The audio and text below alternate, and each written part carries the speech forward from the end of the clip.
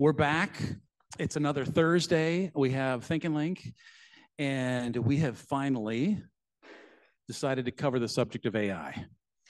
I have been wrestling with this uh, subject area for a while, which I'm sure all of you have as well. Um, I needed to find two people that had wrestled with it a lot longer and in a lot more messy ways than I have, and these two definitely have.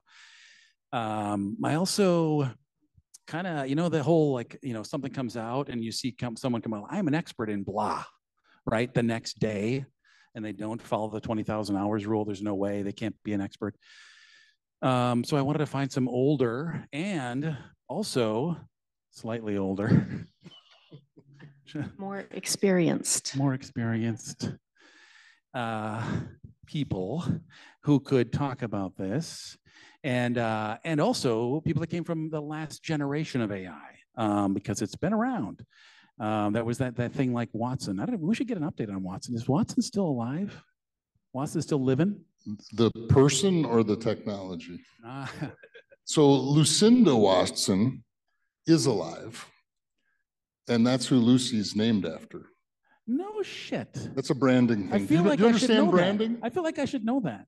Yeah, so I think you uh, told she, me that. She she's on LinkedIn and periodically comments on Lucy's progress. I usually do a tremendous amount of background on our speakers, but because of it's the fact that it's Dan, I didn't do any background at all because I figured I had plenty. Um, so he's going to surprise me with some things, I'm sure. That's going to happen. Anyway, uh, first, a note to our sponsors. Uh, our first sponsor, our greatest sponsor ever, is actually here in the house Ryan Rudd from where is he? Raise your hand, dude. Lake One. So we've been we've been calling him out because he hasn't been here, and he sponsors, and he's a good friend, and he employed my son for a while, and we love everything he does. We talk about him, and we're trying to do more business with him, and uh, and then people started sending him messages via LinkedIn. Hey, dude, why aren't you at your event? I thought that was very funny, but now we can't do that anymore. It's not funny. Um, and then RSP Architects, who designed this space uh, an amazing international firm. We get to, as Capsule, live in this space, um, which alludes to the fact that there's a third sponsor, which is Capsule. We are a special projects agency headquartered here in Minneapolis, working with brands like Arc'teryx, um, Kwik Trip, Patagonia, Hydro Flask, and a variety of others all over the country and in our own backyard. And uh, that's the sponsors part of this thing. Now, I'm going to hand it over to Kitty, who's going to introduce herself, my co host, and then we're going to go to Paul and Dan. Thank you. Hello, everyone. If you don't know me, my name is Kitty Hart. I'm with Heroic Productions. We're a corporate production company, event production company. I get the pleasure of coming and sitting at your side every once in a while, pretty frequently. Yeah. As your co-host, I spent 10 years at Capsule uh, and was with you when you we launched Think and Link. So it's been fun to see this evolve fun to have it here. I'm looking out into the room here, and there are a lot of past speakers here as well. So there's Stephen, I see Tim Brunell, I see many others. So welcome everyone. Um, super excited about this conversation with, with AI, and I, I want to kick this off by saying there's no shortage of speaker events, panel discussions on the topic of AI. But when we had the prep call with these guys, we got really excited because let me tell you what my pet peeve is going to events where the topic is AI. And one of the main take, takeaways is, well, it'll be really interesting to see what happens with this, right? How annoying is that? You're not going to get that today. You're going to hear some really amazing takeaways. So let's start with some introductions. Um, so Paul, why don't we start with you? Tell us a little bit about your background and what you're doing. Thank you for having me here. Um, I have been a tech entrepreneur since 1990. And like Dan, we both grew up in full text search, massive databases, just information retrieval. Um, and I was fortunate to co found Ancestry.com in 1996 so when you were early in the dot-com era, there were very few, there, everyone was an expert if you owned a domain name and launched a company and got any funding. Uh, but we were uh, had a blast turning Ancestry into a, a powerful um, data set of all the world's genealogical records, or I think they're up to 60 billion records now. I haven't owned any shares since 2006, so please don't complain to me about their DNA policies or anything else. Uh, uh, but uh, I've been uh, working on AI things for a few years now, and I'm currently running Soar.com, which is an AI studio. We're launching 15 AI companies over the next two years. We've launched five already, 10 more coming, and I'm sure you'll hear about some of those during the conversation today. But um, while I'm, I'm not a AI expert data scientist going back decades, I'm an application uh, entrepreneur finding what's the biggest next technology wave that will sweep through the world and how can I participate in that wave. Did that with CD-ROM, did that with the World Wide Web, did that as a Facebook app developer, built an app that got 120 million users in two and a half years. So I'm a, a platform entrepreneur looking for the next platform. And I think this is the biggest, best, greatest platform I've ever seen in my life. And I don't expect to ever see it go away. It's, it's, it's here for good and it's going to change everything. And you officially changed your middle initials to A and I, right? As I see that on your LinkedIn. My nickname uh, for decades was Paul Allen the Lesser. and it was it was some friendly venture capitalists that said, "Which Paul Allen are you talking about? The Microsoft one or Paul Allen the Lesser?" And uh, I have a friend who's Whitney Johnson. She's one of the top leadership coaches and talent coaches in the United States, and she is on the board of directors of a Paul Allen led company in Dallas and I'm the second Paul Allen on her smartphone. So she told me, I'm Paul A.I. Allen. The other Paul Allen is just Paul Allen. So I quickly switched from Paul Allen the Lesser wow. to Paul A.I. Allen. It's better. It's much better. Paul Allen the Living. There's another option. Paul A.I. Allen. Yes. Wonderful. Dan, please. Uh, so I'm Dan Mallin. Uh, for those here, a serial entrepreneur in the Twin Cities. Um, lots of cool uh, stories, and uh, you know, it's funny you mentioned domain names or domains, and and really the history. My history is in the nine in 1992, I registered Mallin.com, which is how you can get a hold of me, Dan at Mallin.com, and um, in the AI world, uh, .ai as a domain name is Antilia, right? in the Vir- Virgin Islands or wherever that is. Um, and uh, I have an account in their NIC or InterNIC where we registered Lucy. And today you can't get an account there; you have to buy it through somewhere else. So, uh, I it's it's a funny thing, but the origin is that when I registered Mallin.com, it was free. There was no charge to register a domain name, and the uh, Lucy.ai is registered in a place nobody can register them anymore either. So, if that's the history, then that's all I've got. Uh, serial entrepreneur, similarly, always just focused on, um, actually Padilla wrote something years ago, which I, I really thought said it, which was, um, there's a new technology, people are trying to figure it out. Uh, Scott and Dan, Scott, my business partner, will find a way to make competitive advantage and bring it to lots of audiences. And that's what we've done and continue to do um, uh, uh again throughout, throughout history here. Today we have a product called Lucy, lucy.ai. You should check it out. Really cool enterprise knowledge management. Lucy connects to all the data inside your company, reads, watches, and listens to it, and then is an answer engine um, and done at scale for big companies, um, Kraft and Pepsi and Walmart and you know and the like. So it's kind of it's really cool. And if you think about in your company, just how many PowerPoints are created every day, and what if Lucy had that information and then could just bring you the slide you were looking for. So that's kind of the, the, the cool tech. I do want to say something about AI. It was not invented last year. How many of you used AI to get here?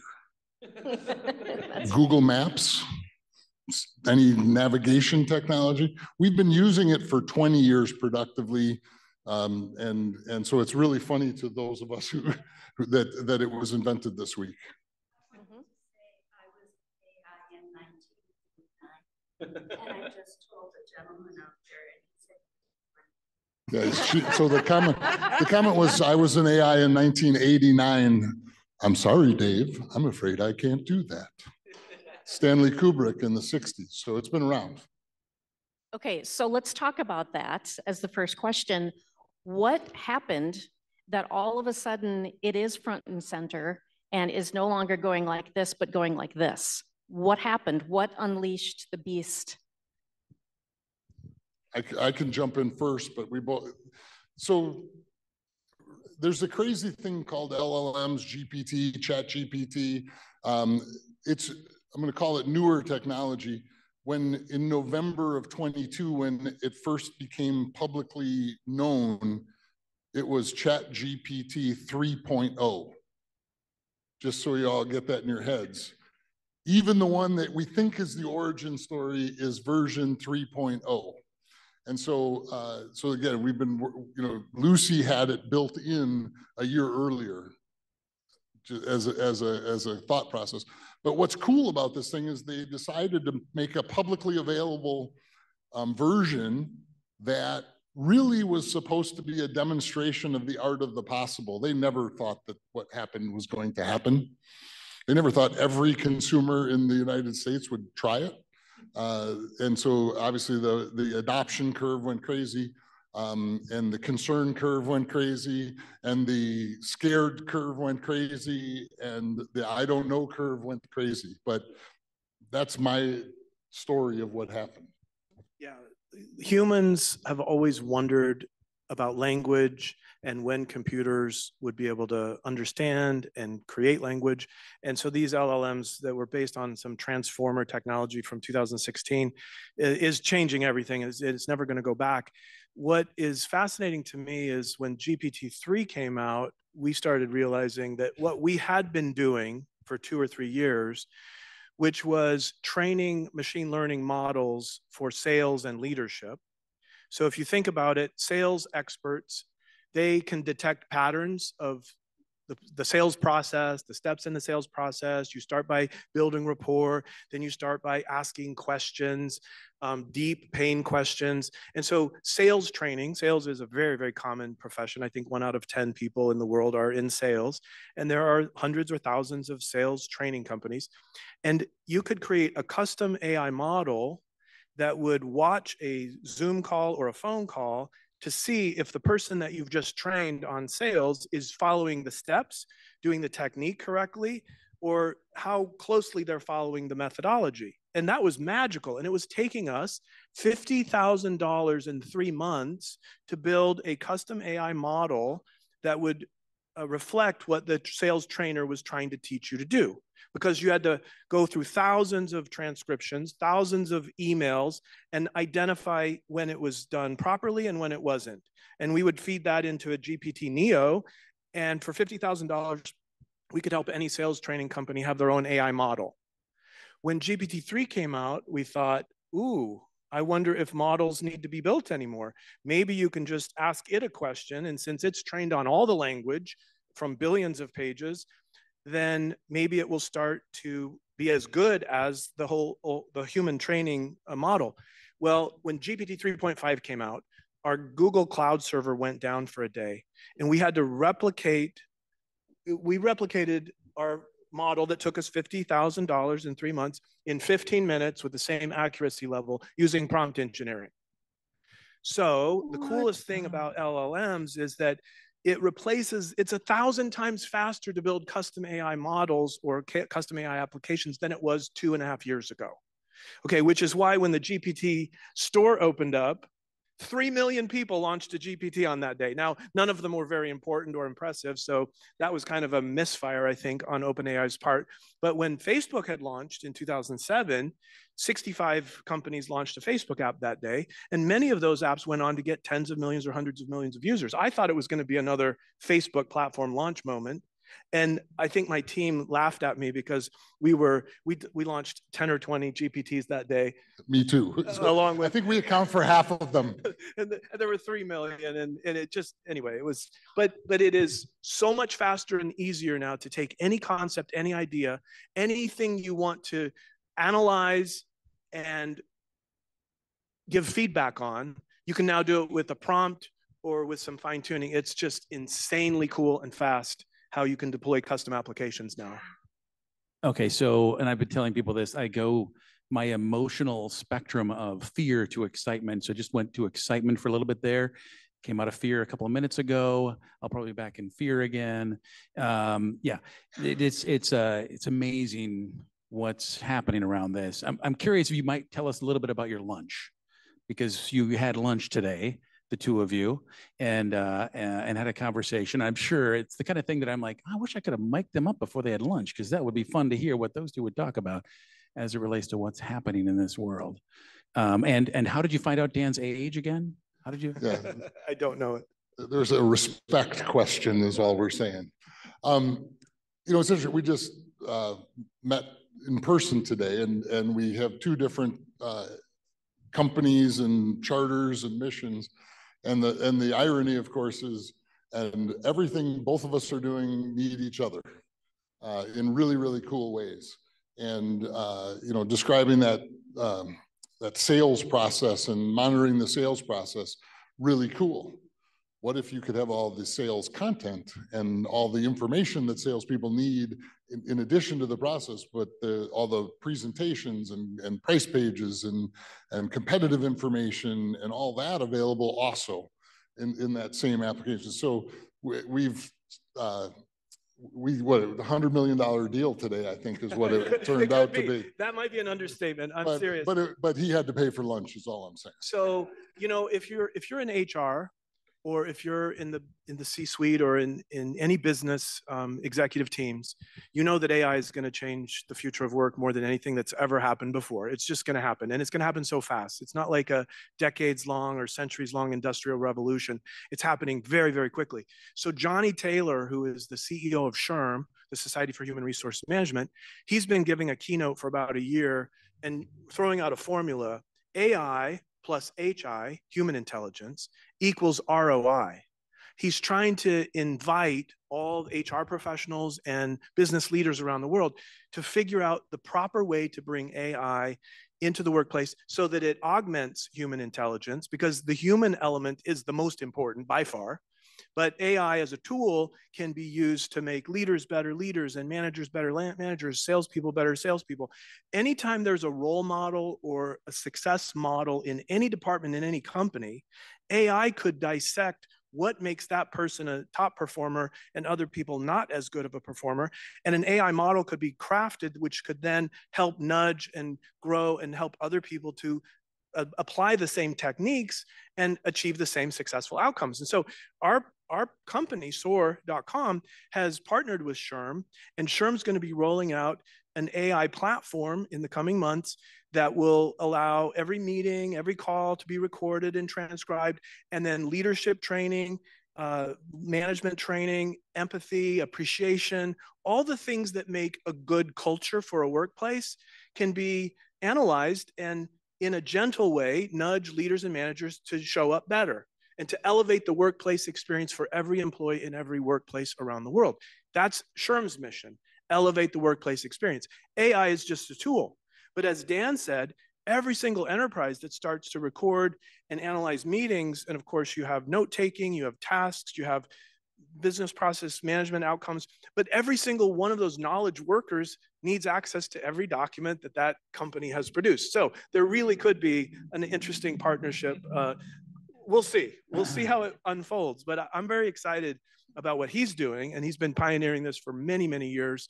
And uh, yeah, it's it's a very exciting time. Yeah. Okay. So you, you just, well, I just, again, from fear to excitement, all in that one answer. Damn it.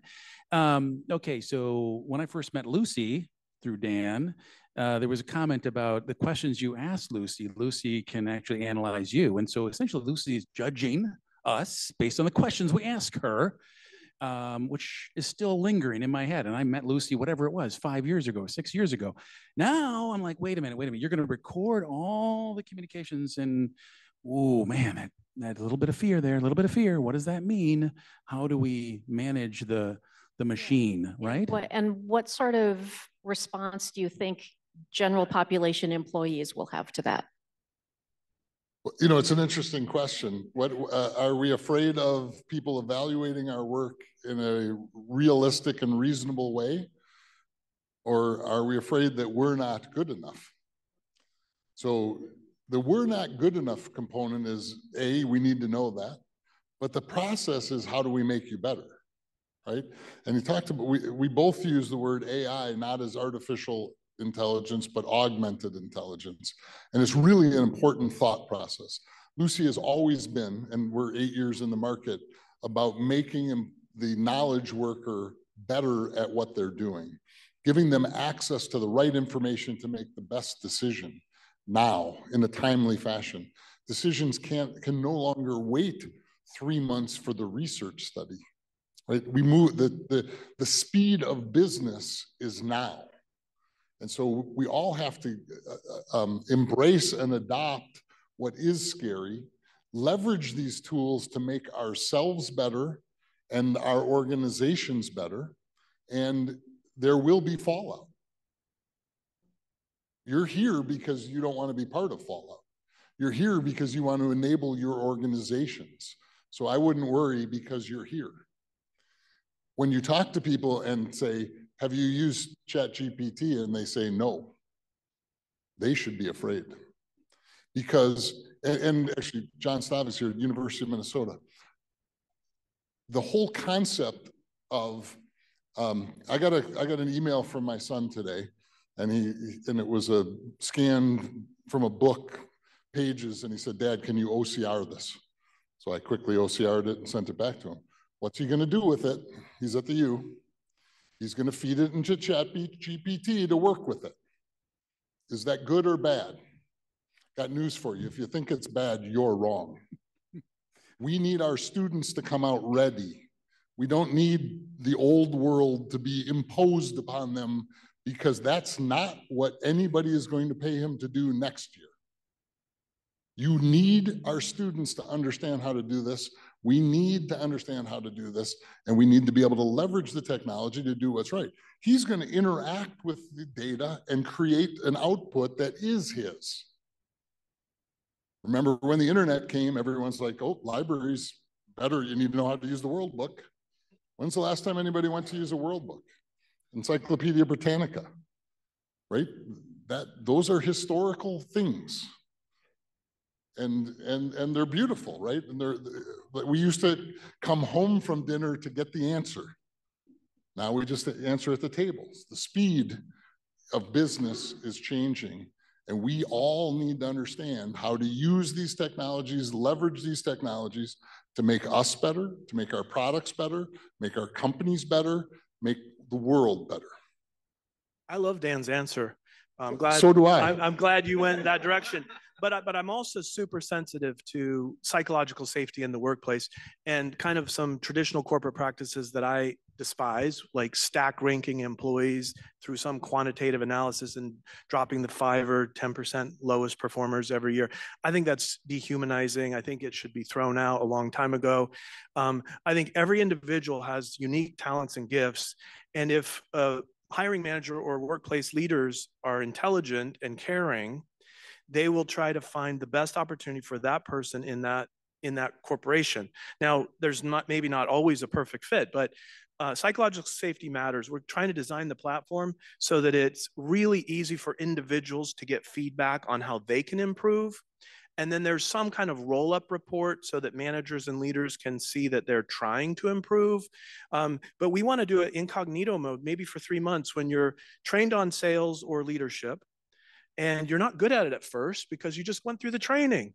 So maybe you get three months of incognito mode where you get feedback, but your leaders and managers don't get to see any of the feedback. Like we're conscious that there needs to be psychological safety designed into it. Also, humans are fragile. We're, we're we actually need validation and my love language is words of affirmation. So I want my AI to give me five positive things about me for every one you know constructive criticism. So we're actually going to design a, you know marriage science and workplace science all says a five to one ratio of positive to negative is important. And so maybe that will be adjustable or whatever but we don't want to build a tool that we already have a government that surveils its citizens. We already have corporations and trillion dollar companies that surveil us and target our time our time and attention with uh, ad selling ads to the highest bidder And billions and billions of hours a day are spent glued to screens that we can't put down because the algorithms and the AI is so intelligent about us.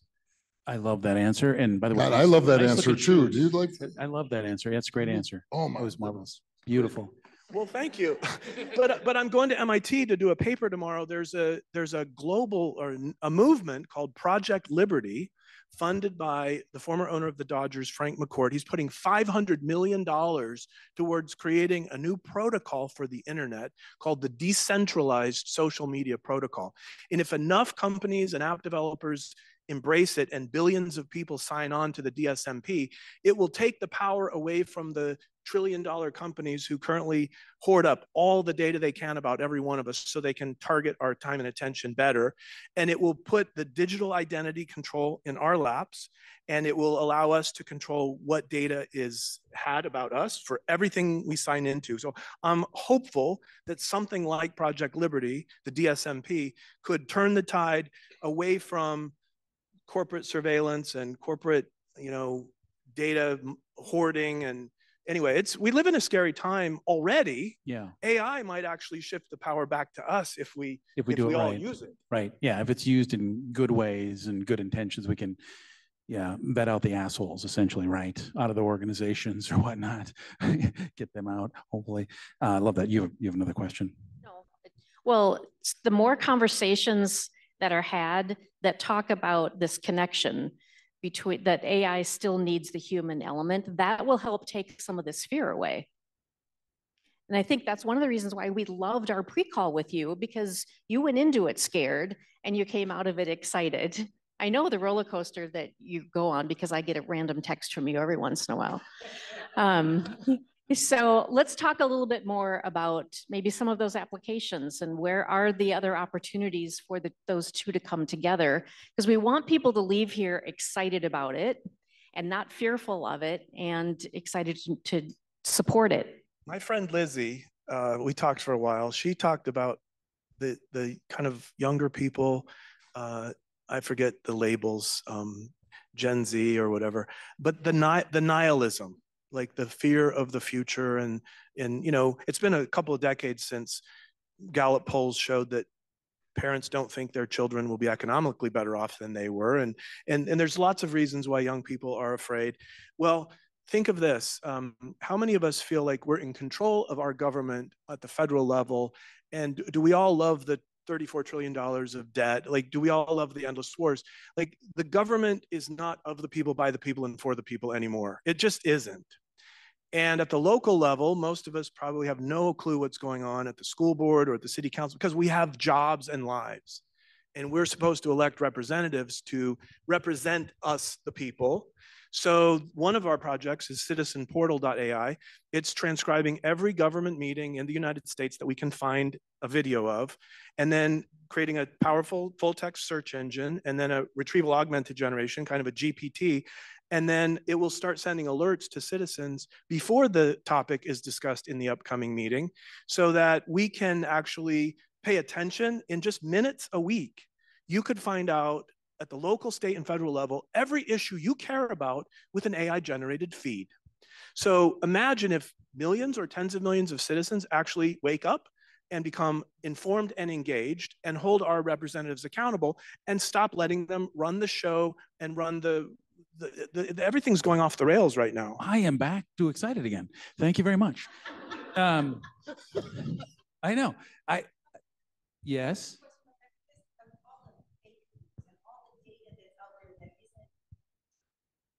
So when you build these algorithms, how do you figure out what's real and what's not? So It's- that when you get your alert, you can say, I'm alerted to something that's based on truth. The truth standard for the citizen portal is, did it happen in a government meeting that was a public meeting that was recorded? Did the mayor and the city council members actually say these things? So we're not saying that what they say is true. We're saying it's the official record of what happened in the government. It's like the congressional, well, right, right. Yeah, I mean, but Actually, I, uh, augmented intelligence, artificial intelligence.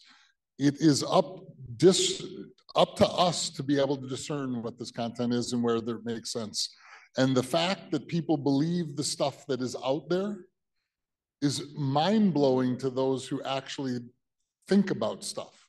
And it's not right or it's everywhere, right? So just be, I'm not picking a side here. I'm literally saying the stuff people believe is mind blowing, right?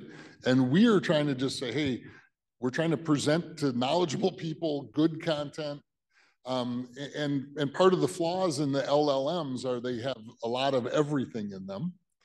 Part of the flaws in the LLM is it's public domain that can have everything in them. Part of the flaws from a corporate perspective in the LLMs is there's no layers of security. Because how many of you work for companies?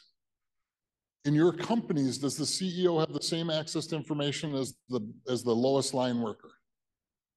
Almost never.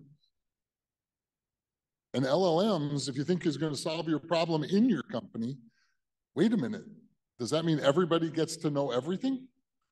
Because that's never going to be the case. So we have to present information. People have to be able to discern information. Uh, interesting, there's another organization which you should check out, which is called represent.us or US. And it's, again, bipartisan, and they, they did a study. And this is a great little factoid that you're just going to get scared again. Um, if, if a bill in, in Congress has zero support from the populace, it's 30% likely to succeed. What the If a bill has 100% support in the populace, it's 30% likely to succeed. So if you think the system's broken, you might be right. For the Here's people. Another data fact that could be augmented or allow humans to actually process what's going on.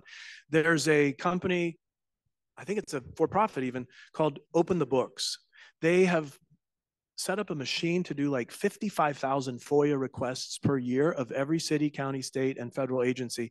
And they get checkbook data down to the vendor level. They're not getting the budget that was passed by the Congress or the legislature. They're getting the, then it's fact. Exactly. So we're trying, we're, we're hoping to partner with them. And then when you get the city council or the state legislature talking about spending or budget or whatever, you could say, well, this contractor just made $12 million last year, and they happen to be friends with the campaign manager who brought this senator into office or whatever. Eh, I, I'm from Missouri right now. I live in Missouri. Um, you know, New York City had Tammany Hall corruption for the 1850s and 60s. Uh, Missouri had a lot of corruption in the 1890s, and there was a guy named Joel Folk who became the governor, but he was like the top anti-corruption politician in the United States for like 10 or 20 years. So imagine if citizens can get AI that tells us something is stinks in Denmark, uh, and let's go figure out how to stamp that out. Okay, that's one positive outcome if citizens are armed with this data. It's not enough though. We should be proud of the country we live in, the freedoms we have, and all the good things that have happened over the past few centuries, the progress that's been made, etc. So one of the goals of Citizen Portal is to help everyone find has anyone solved homelessness? Has any community figured out how to deal with mental health issues or had a higher graduation rate or reduced recidivism through some intervention? Uh, what, what communities have healthy, happy uh, lives and et cetera? And then find out what was the root cause of that success? What turned something into from a problem to a res- resolved problem? And if imagine if citizens can find out there are ways to create healthier, happier citizens, higher graduation rates, better uh, entrepreneurship. And let's just, as citizens, find out well, this town, this city, this county did it. Now let's bring that model to our representatives and say, we should do that here. That's happened in entrepreneurship. There are dozens of places around the country where there are unbelievable venture capital, angel investor, and entrepreneur ecosystems. Boulder, Colorado, Brad Feld. Like he's written five or six books on it, but like thousands, tens of thousands of jobs, incredible growth. Government, did they have a role? Maybe a little, but a citizen or a volunteer or whatever. I just think there's a chance to stamp out corruption faster with the help of AI and also shine a light on the things that are wonderful and working and try to spread them throughout the laboratories of democracy. And I think there's some really great potential there. Yeah, the feeding the machine is really fascinating. The amount of data it's consuming, the amount of knowledge it's consuming. I do have I have those moments of thinking about what in just local governments, um, areas where you're like, how effective is it? I mean, how if you have a certain tax rate, how effective do they use that tax as a government? Probably no one's really looking. No, I mean, how do you get Even the that? ones that are Right. voting for it or spending it, they're probably not analyzing it compared to other, you know, I just think there's very little thoughtfulness uh, about does the money work? Does the program work? No, we just keep going with Yeah. what we were doing. Like and our ability to process all that is it's way beyond us and we're giving this machine the ability so i'm back to excitement but i'm going to ask a question that i know i'm going to fear because you've already talked about it and uh, on the pre-call we did a little like hey well you know what's going on this stuff is freaking me out and you said yeah people will worship this thing oh my god i shouldn't we talked there we about that movie, The Gods Must Be Crazy, right? Can you imagine a GPT, a, a voice activated device that shows up somewhere in a culture where they don't have technology and it knows everything? It's a super intelligence, it's a collective intelligence of everything that humans have ever written or said. Uh, yeah, no, I think, I think um, it's possible that humans will have some primeval instinct to try to think this is a deity of some kind. Right. This is also why I don't want to anger the deity, um, just in case it does get there. right. Uh, I, whatever I say about it, it's positive. It's good. Yeah, it'll be fine. It's Right. all, yeah. This is all being on in. fed into the big, I know. I know. GPT in I know. sky. I know. It uploads after the show and it'll know. The fact that you were afraid and afraid and expressed it is it's too late, Art. It's- Thank you. Thank you. That's great. That's just lovely. Uh, we can, we can open up the questions to the audience because that's going to naturally happen, I think, here. Kitty, you? Oh dear, he's going.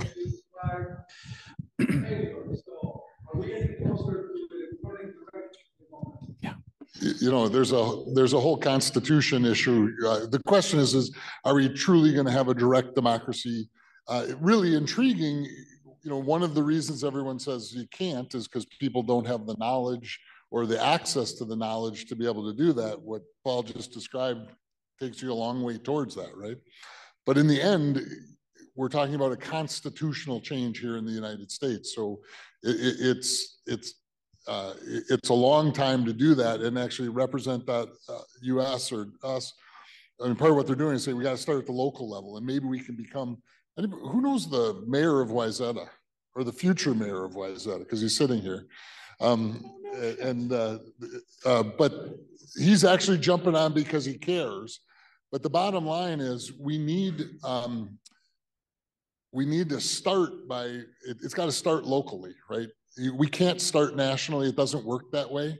Things happen by, by local and then state and, and then it becomes a, a national thing. And uh, the more we can actually influence outcomes, become part of the process. Um, I had, I recently, uh, you know, uh, attended a, a school board meeting because I knew there was going to be an issue and I wanted to weigh in. When I say that, I attended because my wife grabbed my ear and, and, and told me I was going. Um, but it's important, right? And the point was, I, I did go. Uh, but the- it's important and, and we have to, part of it is we all have to get off the couch to do that. And, and become a participant in the process because we all know we disagree with things that are happening. The other key, though, is leverage the technologies we're here talking about and others to have the right information. Because there's so much misinformation that is mind blowing in today's world. And, you know, we've got, um, obviously, we've got a couple wars going on, we have geopolitical issues, and we have absolute misunderstandings that are, the irony is just mind blowing. Um, you know, to see someone stand up with uh, an LGBTQ sign for Hamas. If anybody knows anything, is they will kill you in two seconds. If you were in Gaza with that sign, you'd be dead. And yet you think it's okay to represent that. And it's just ignorance. It's not, I mean, there's no knowledge that if they knew, they wouldn't do that. And, and, and we have an opportunity to change or hopefully control Russia and we're, we're running away from it. We can do it with dollars, not our bodies and our people. And so people don't understand what's going on in this world, but we need to educate ourselves. We need to leverage these technologies, and we also can't allow ourselves to be influenced by the fake knowledge. Now, there are some technologies too coming out which are going to help people determine this is real, right? And, and altered images being the first kind of thing, and all the big image companies are working on this where anybody touches an image, it'll be watermarked, and therefore the computer will be able to tell you that this has been watermarked as altered. Google, Microsoft, Adobe, Nikon, Sony, camera manufacturers are putting this C2PA uh, standard. I was there in Las Vegas at the NAB on Monday, and I sat through that panel. It's very encouraging that the industry is combining forces to make sure that we can detect uh, image uh, fakes, et cetera. Now, on the direct democracy question, I think Nashville did an experiment a couple years ago where they said five or ten million dollars of the city budget will be voted on directly by the citizens, and it went really well. The citizen direct vote on that budget deployment was really successful, so I think they doubled it the next year. So I think that could give everyone a taste. But if we're not paying attention, then our votes really won't be informed, and that's why we have representatives that are full time elected to try to you know, guide the country or our, or our states the way we're supposed to, but they're not being paid. There's there's no attention being paid since the demise of the newspaper industry has stopped allowing local news. Newspapers used to be very very powerful in this country, and they would send journalists to cover pretty much every government meeting, and they were the ones that found corruption and uh, inefficiency. Well, that's gone. The industry doesn't even hardly have money in them anymore at all. It's all gone to the trillion dollar tech companies with ad spend. So citizen journalists or citizen, uh, we just we just have to do a lot more because that void exists and the lack of trust between citizens and governments is at an all-time high and we can bridge that together i think um, the, yeah the, the we have the worst form of government amongst a whole bunch of really bad forms of government, but the best of that, right? What was there's a line around that, right? Which is kind of like, oh, would AI impact that in a positive way? Perhaps, but it's going to pretty quickly identify the fact that this is a very bad form of government. Um, but yet you leave it up to the average. Have you met the average citizen? I mean, just literally the average citizen. It's kind of scary, right? It's not like, oh, I mean, you're that informed.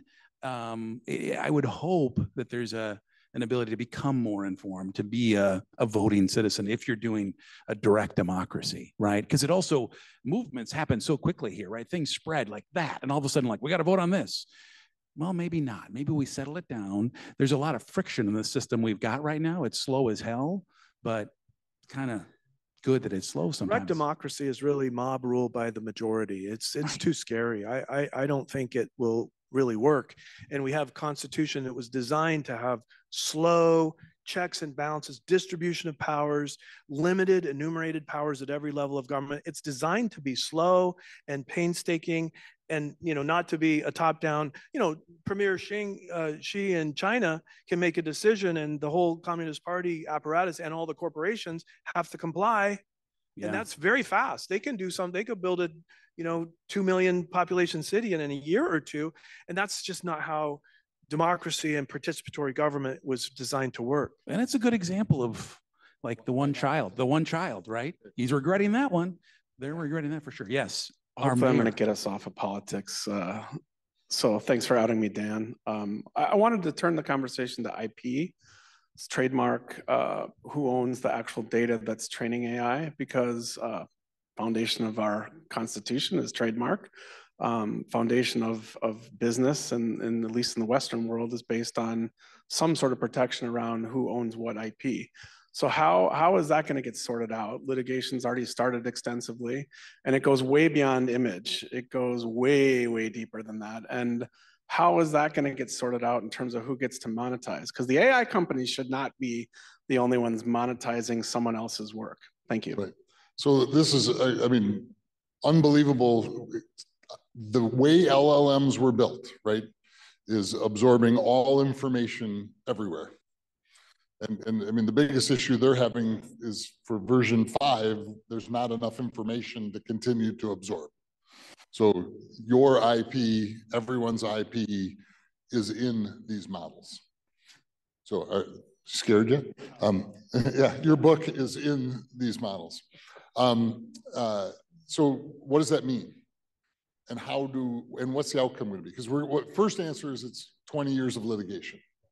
So what's really likely to happen is something similar to how music is paid for, or there's a copyright clearing center already where already there are microtransactions paying people for intellectual property.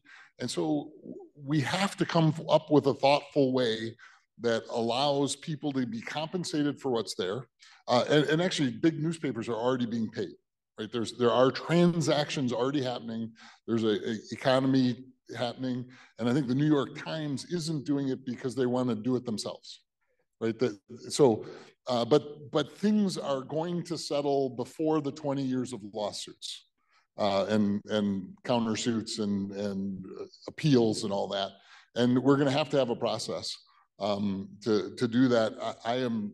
We're not working on that uh, in there, but there are people that are, and uh, and in the end, um, I think there's a scarier question because if AI does everything and we don't have jobs, how do we make money? And and I'm more scared of that than I am of my intellectual property being reused in a microform um, that that does that. So they're scary here. There's outcomes that we need to account for in the future and what does that look like in, in lots of ways, one of which is IP, um, one of which is being able to tell where it came from. Um, source attribution is, a, is an additive feature that didn't exist that now exists in these GPT models, which allows you to kind of start to get to, we can compensate people because there can be a ticker in the background. There's one other comment. I go to the American Library Association annual conference every year, and last year was interesting because the American, the Library of Congress put out a policy paper where they are taking the position that any content generated by generative AI is not copyrightable. Okay, so if you think about Wikipedia, what a gift Wikipedia has been to the world, it's not Britannica, which was copyrighted. It is a kind of open source, Creative Commons, everybody can use it, no copyright. A huge boon to all of humanity to have Wikipedia. It's like a top five website in almost every language. Well, imagine if that if that Library of Congress policy holds, where every question that billions of people ask generative AI, go create this music or this art or this uh, essay or poem.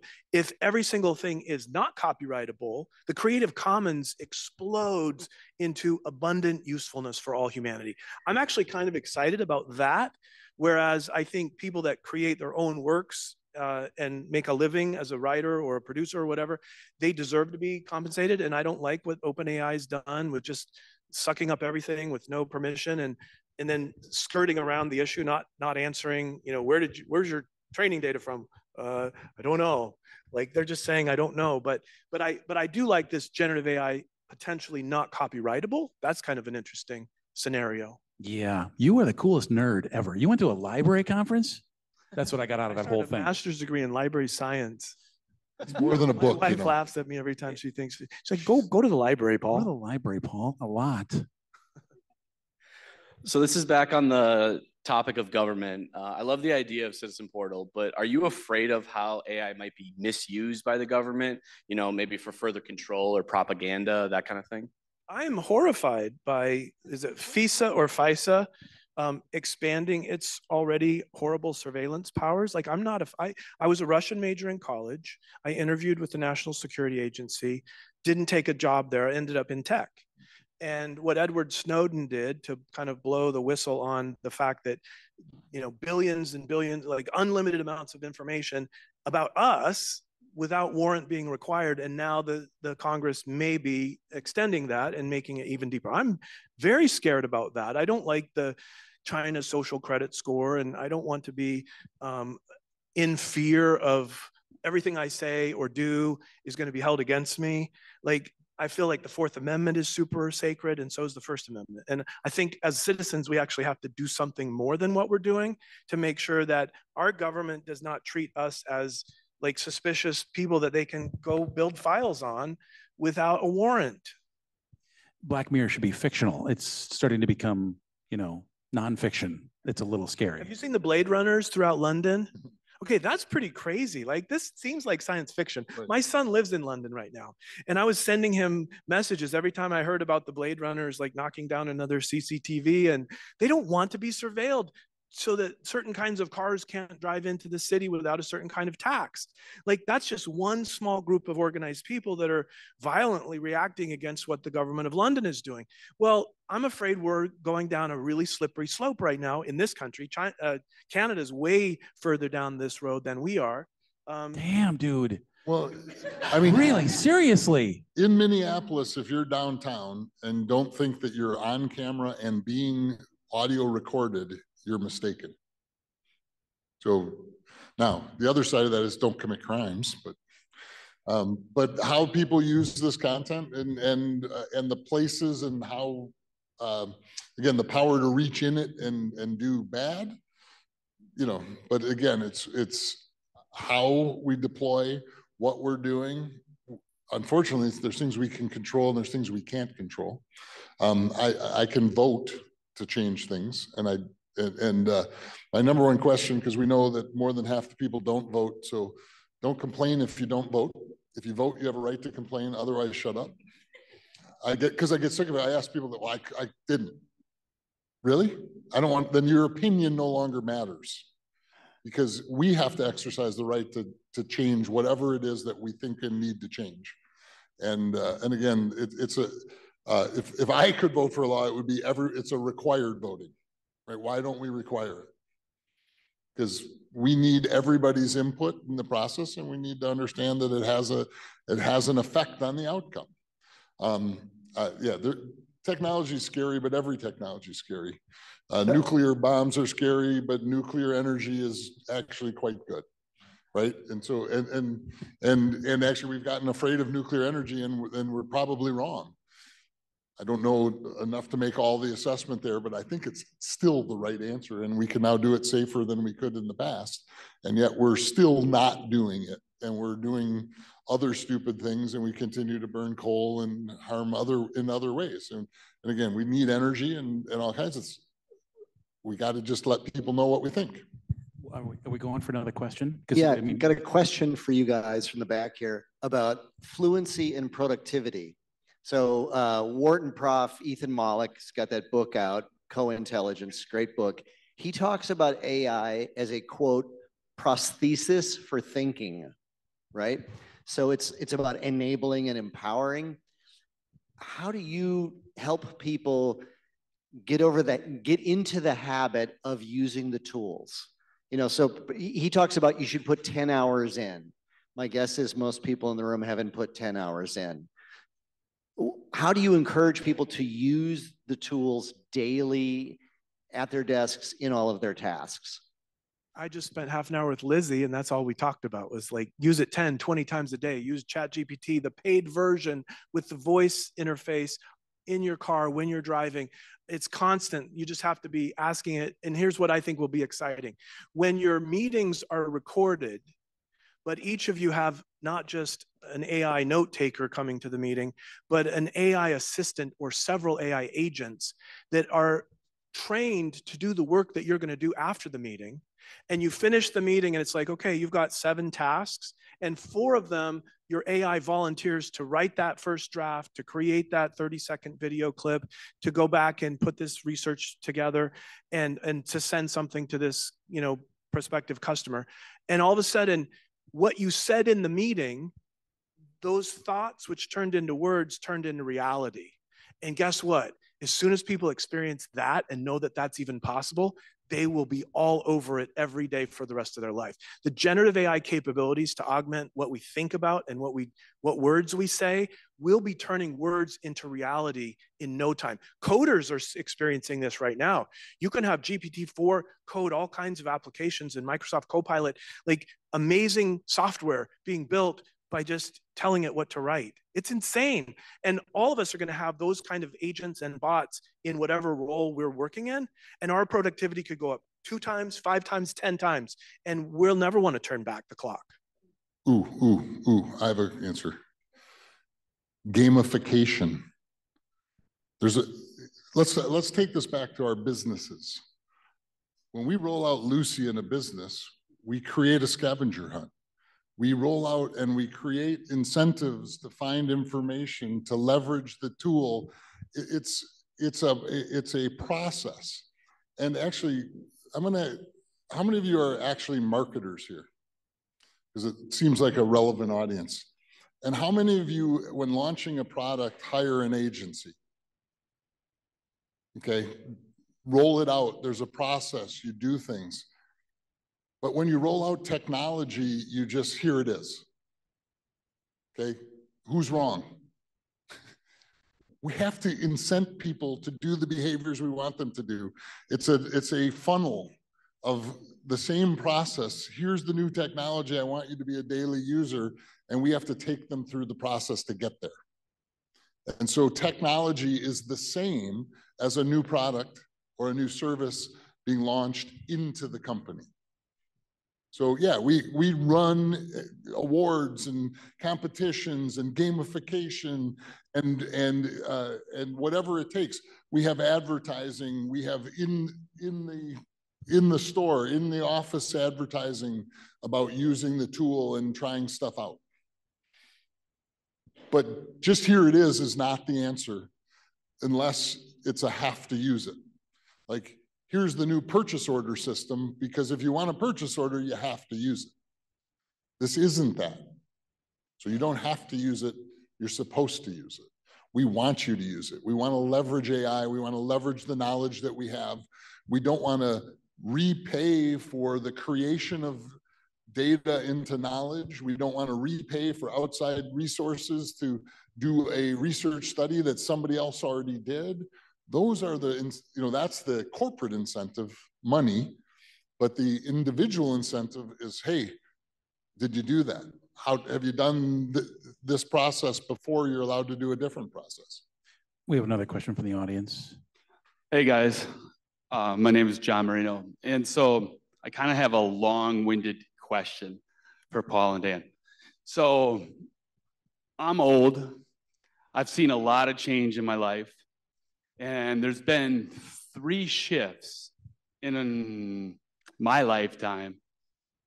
First one, I would say, and I'm rounding, of course, is the internet. In 1996, that's what I call it. I know it happened before with email and everything else. But there was a shift, just like you guys noted, where people resisted the internet and they were like, no, this is a fad. And then by 2000, everybody had to have a website, and then it was rock and roll for the internet. The second shift, what I'm going to say is 2010, was social media.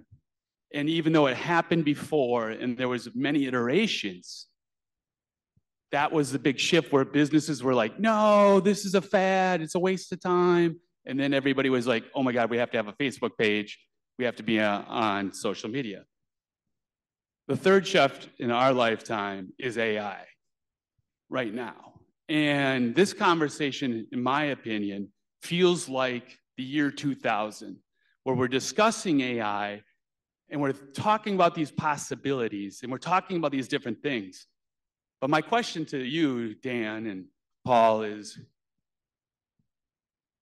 I feel like AI is going into every one of us in the room will have our own bot because AI technology already exists where we can have our own voice recorded, we can have it respond to texts, to emails, to all communications. So, Dan, if I'm talking to you, you could literally train a bot to not only do, let's say, the preferences, Paul, what you're talking about in government. I could have my bot just go, yeah, contact these people, do it on your own time, make it all sound natural. My voice is recorded. It does all the work for me. And it just takes that up. And, and the same with you, Paul, is like, where do you see where your bot is uh, doing all the automation for everything you want done? Because as the LLMs build up the knowledge, the technology is just going to make the bot stronger. So all of us will sound and appear smarter. You have a question? That is the question. How, how long do you think it will be until each one of us has a bot I that already have represents one. us? Give us a year. I already have one. That has your voice, It- that it- responds to your texts and emails? It, it doesn't have my actual voice, it has my voice in communication. I mean, you, this is, you just didn't describe the future, you described the now.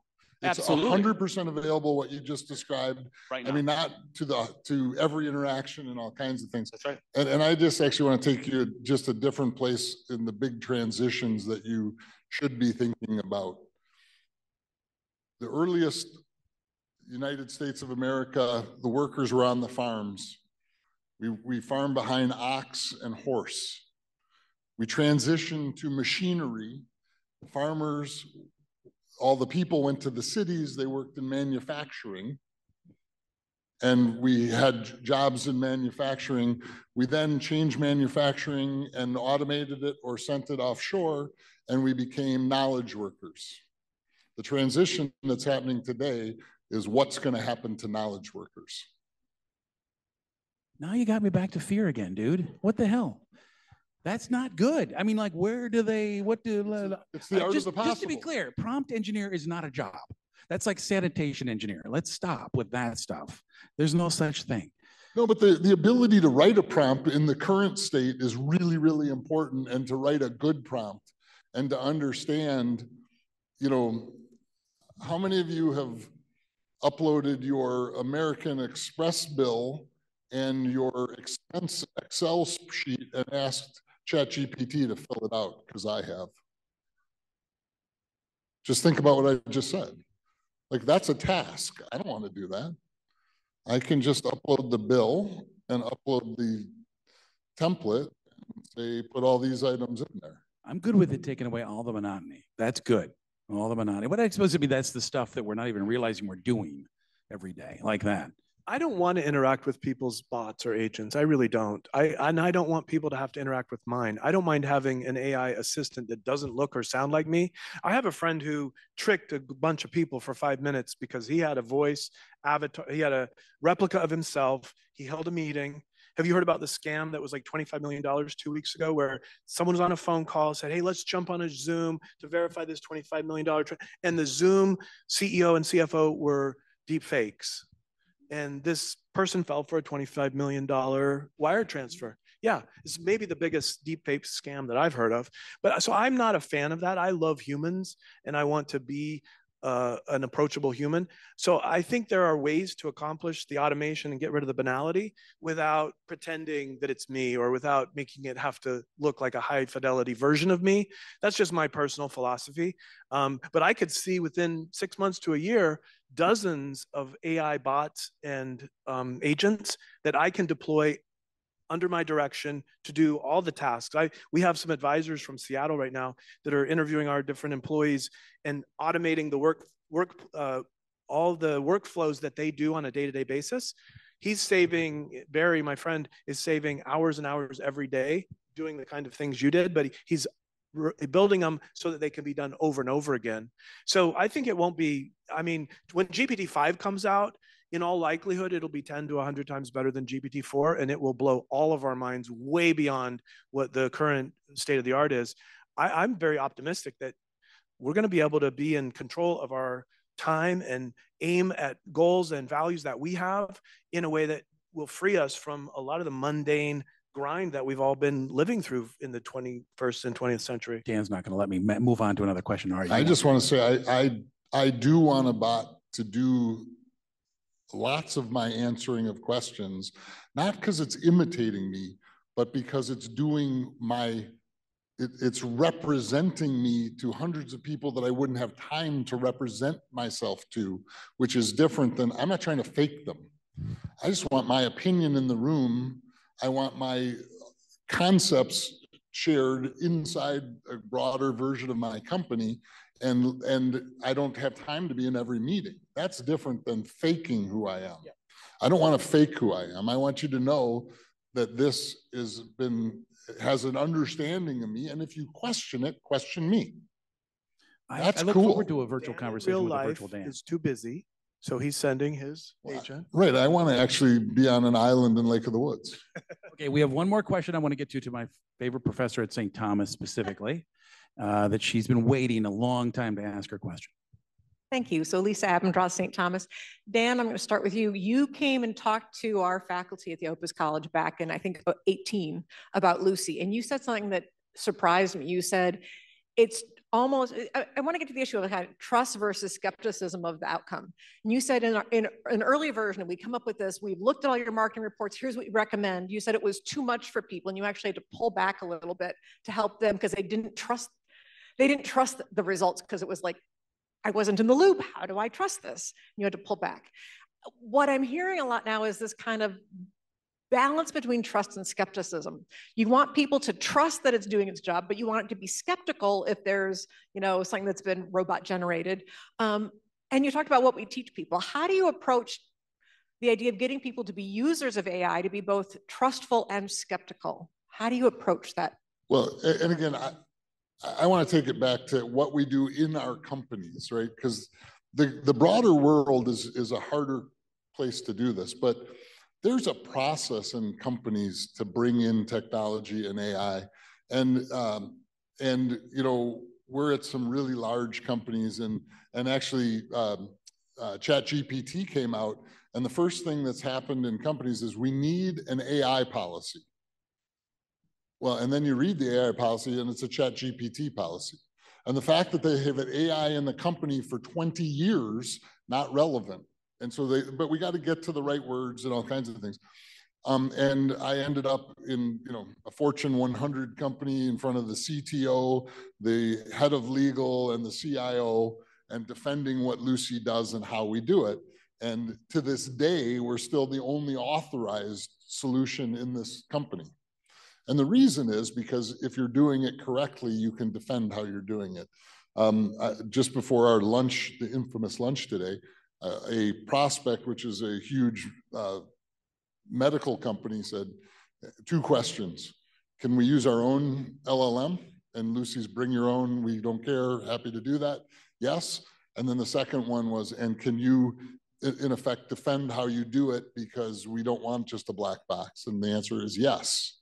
Right. And so those things are important inside companies.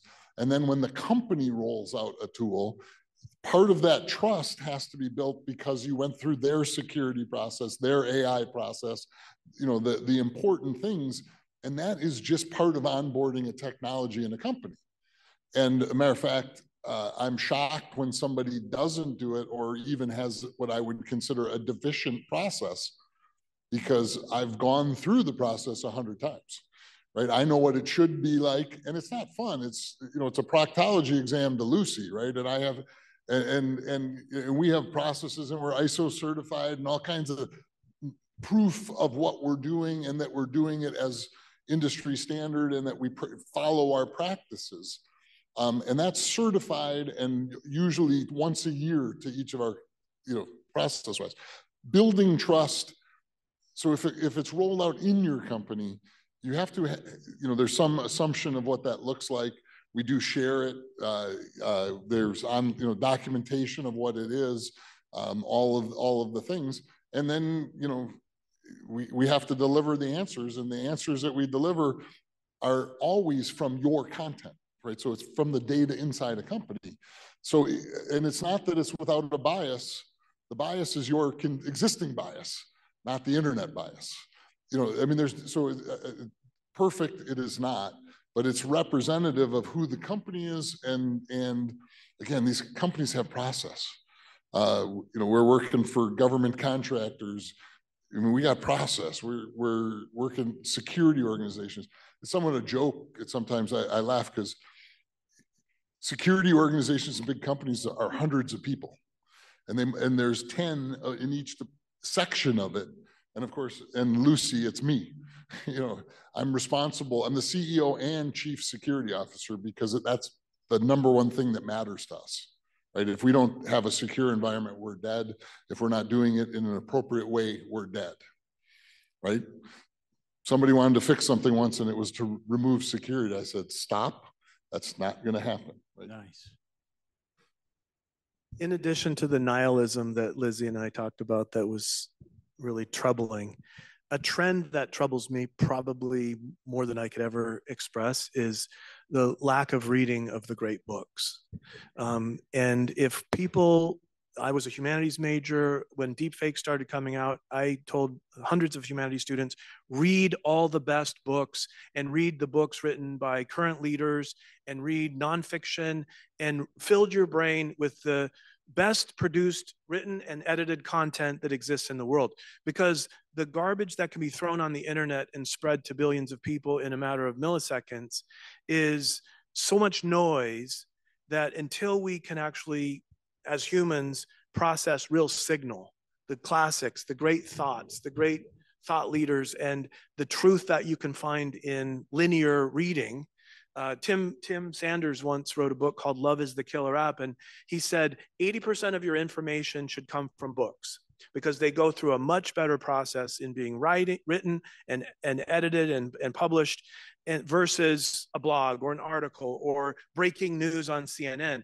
So my biggest fear um, is that humans are being dumbed down. If you saw the cult film, was it Idiocracy or Yeah. like like oh my gosh, what if we never read and we look at our screens in virtual reality and we get dumber and dumber and dumber? Like okay, that doesn't bode well. Sorry. Yeah, there Uh, I am again, right there. No, I, it's, yeah, I love that books, yes, absolutely. The Self-published Stoics, books. Plato, anybody, right. Self-published books. You got to, when, what he just said is Nice. hundred percent true, but from a publisher. Real publisher, real publisher. Because I can publish a book in an hour today. On, eh, it's available on Amazon is not a book definition from a publisher. Good call. Yes, thank you for that. Thank you for that. Another good reason to actually have a publisher if you're going to publish a book write a book. Important thing. Though we have gone way the frack over. Um, I think it's probably possibly because of the subject matter and the interest in this. And uh, we literally had three questions ourselves and didn't need them. Um, and we figured this was going to happen. Didn't even give them the questions because they didn't need them. Um, this has been fantastic, absolutely amazing. Um, we have another great pairing coming up next month. Um, we also have uh, the founder of Blue Zones at some point in time, Dan Buettner, who's got a nice Netflix special. He's a client and a friend. He'll be on the stage. And uh, we have a really interesting announcement. We're going to do one of these at the airport. We're going to do behind the scenes at the airport, behind security. Um, one of the Think & Link events, we got invited to do this at the airport, which is going to be best described as, well, that's fucking weird. yes, yes. And we like that uh, because the robots can't do fucking weird yet. That's my belief, at least. I don't know. Yeah, there we go. Anyway, thank you, everyone. And thank you, Dan and Paul. This was absolutely amazing. Absolutely amazing.